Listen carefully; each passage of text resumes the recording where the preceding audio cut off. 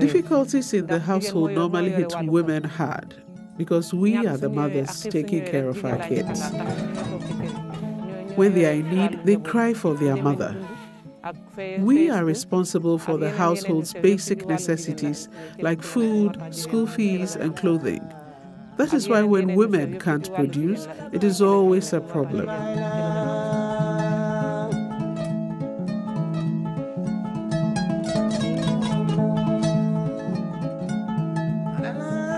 I'm thankful I have a piece of land because without it, I would still be deep in poverty. Now I have my own piece of land to cultivate and I can feed my family. I have enough food in the house now. We are still eating my produce from the previous season. I feel proud because if you have enough food, you don't worry anymore as a mother.